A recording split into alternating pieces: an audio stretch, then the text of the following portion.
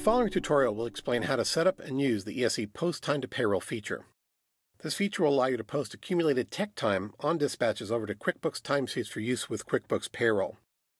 To begin and simplify things, it is highly recommended that you run at least one payroll cycle manually within QuickBooks prior to setting this up. Now let's go into QuickBooks and confirm some mandatory things are properly set up. In QuickBooks, go to Edit, Preferences, Integrated Applications, Company Preferences. Click on ESC from the list of applications and then hit the Properties button to the right. The option Allow this application to access Social Security numbers, customer credit card information, and other personal data must be checked for the post time to payroll feature to work. Next, in QuickBooks, each employee must have their earnings section in the payroll and compensations info screen set up with a wage item and a pay rate, and also needs to have the use time data to create paychecks checkbox checked.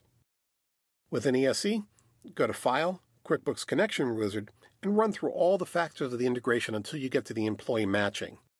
Add and or match all employees between the programs as necessary.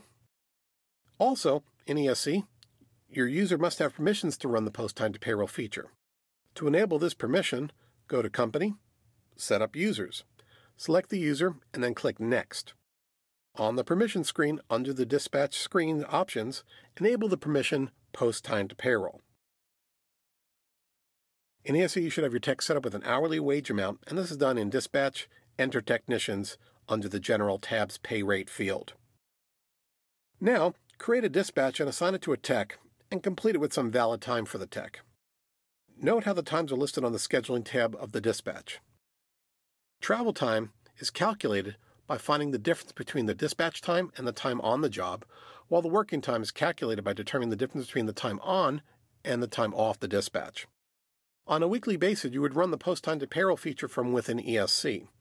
This is found under Dispatch Post Time to Payroll.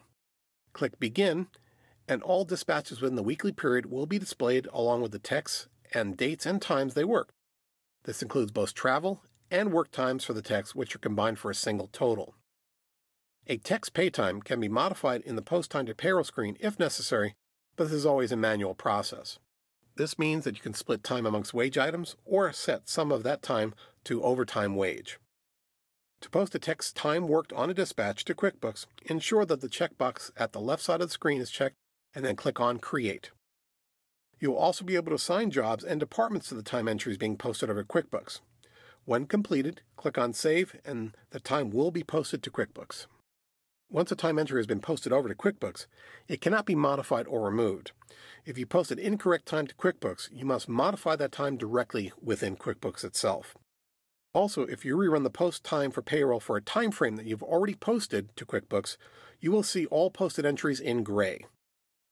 To see the posted dispatch times entry for your text, go into QuickBooks and click on Employees, Enter Time, Use Weekly Timesheet.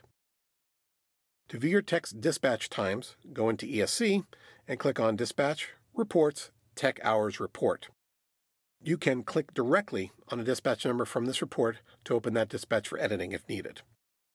This concludes our tutorial on the ESC Post Time to Payroll feature.